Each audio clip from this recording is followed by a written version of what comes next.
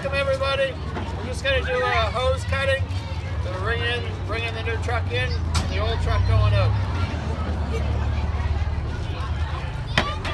We cut it.